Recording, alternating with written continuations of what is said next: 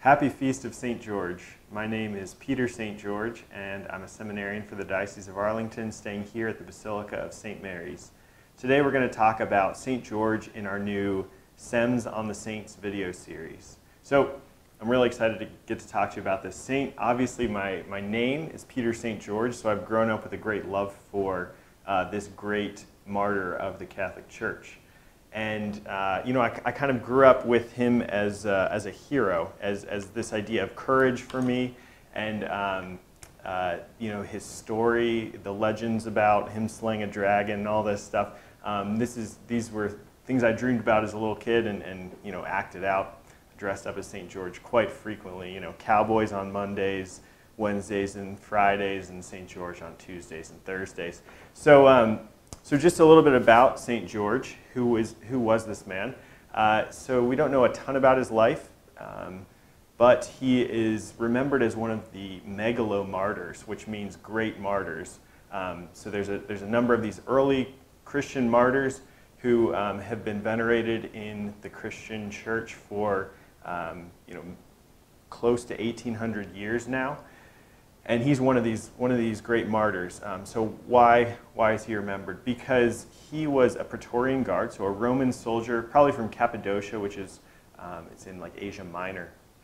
But he he was martyred uh, because he refused to recant uh, on his Christian faith. He refused to deny Christ, and so he was beheaded uh, at the order of the Emperor Diocletian in the year 303.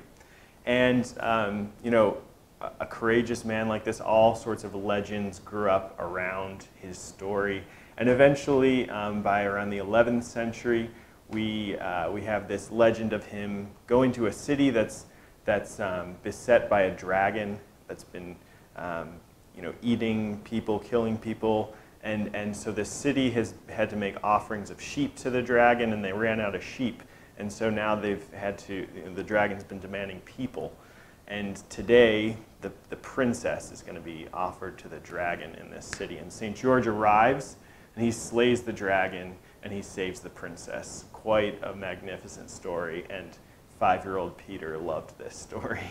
Um, so uh, I want to talk a little bit about what enables St. George to have this courage. Um, uh, kind of allegorized in his fight with the dragon, but, but what it truly, um, that, that allegory of the, the story of the dragon indicates is, is his martyrdom, his witness to, to Jesus Christ. And so what enables him to do that, and then why is he doing it? What's it for?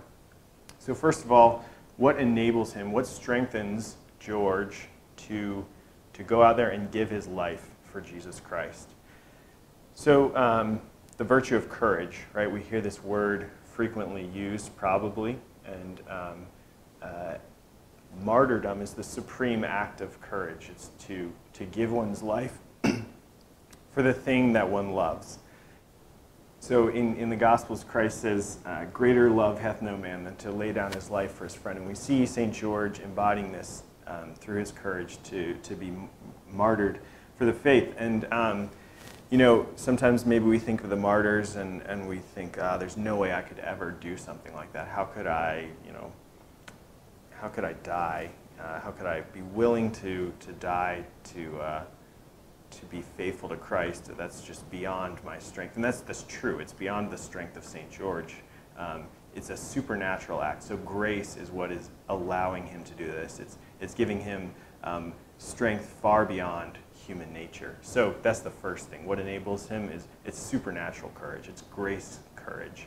And then the second thing is um, he's been working at this probably his whole life. His father um, is remembered, St. George's father is remembered as a, as a martyr as well. So he probably grew up with um, an idea of a courageous father who is willing to die for his faith, who would rather uh, die than, than abandon Jesus Christ. And so he had this idea early on in his mind, probably, of, of what courage was.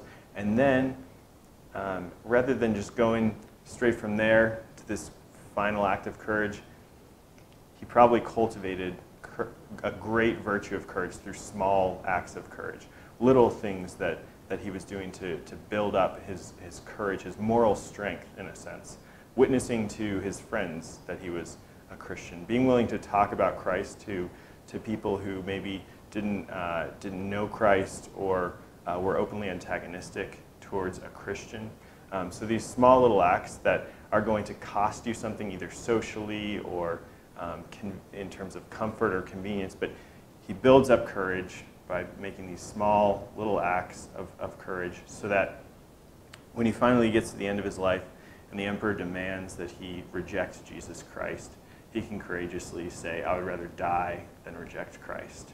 So that's what enables his martyrdom. But why? What's it for? What's the, what's the reason? What's the importance of witnessing to Christ? I think witness is the key word there.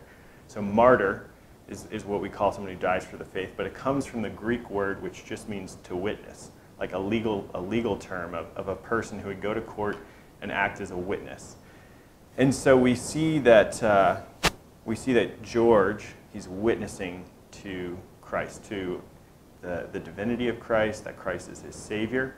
And a witness always has someone he's witnessing to, right? So in a, in a court, you're witnessing to the jury or the judge or, or the prosecutor, whoever. So who is George witnessing to? I think this is where the, the allegory, the legend about the dragon helps. There's a, a couple of people maybe that he's witnessing to. First of all, the dragon. He goes out and he confronts the dragon, and it's clear that he is, he is going to do battle. He's going to slay the dragon. So the dragon represents Satan, obviously. And so the Christian has to witness to Satan that Christ is the king of the world, not Satan. Second, we have the people of the city we can imagine that maybe they represent the people of the earth. And so they're beset, you know, they're plagued by Satan, the dragon. So the people of the city are, are, are plagued by, by evil, the forces of evil. And George, the courageous Christian, comes and he says, There's something greater than this. There's something more powerful than the dragon. So he witnesses to the people that Jesus is more powerful than Satan. And then, third, he witnesses to the princess that he saves, right? And she, I think, represents the church. Um, so we always, we always speak of the church in the feminine uh, because Christ describes the church as his bride. And so George, this Christian, this, this sort of alter Christ, this other Christ, alter, alter Christus, comes and he says, uh, I'm going to conquer the dragon. I'm going to fight the dragon. I'm going to protect uh, the bride of Christ, the princess.